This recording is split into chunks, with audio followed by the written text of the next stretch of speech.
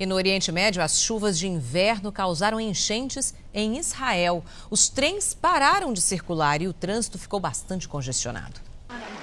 As chuvas que há três dias não dão trégua em quase todo o Oriente Médio, hoje paralisaram Israel. Durante o dia, a tempestade trouxe caos a Tel Aviv. A principal via de acesso da cidade ficou fechada por nove horas. O rio, que passa bem no meio da rodovia, sempre seco, hoje transbordou. Devido ao mau tempo, as autoridades pediram para que as pessoas não saíssem de casa. Quem arriscou ficou preso no trânsito. Algumas estações de trem ficaram inundadas e a circulação praticamente foi interrompida. As poucas linhas que funcionaram tiveram que reduzir a velocidade. Este é o inverno mais chuvoso nos últimos 10 anos. Segundo os meteorologistas israelenses, amanhã será o dia mais frio do ano e a temperatura deve ficar abaixo de zero em muitas cidades. Há previsão de neve agora à noite no norte do país e em Jerusalém.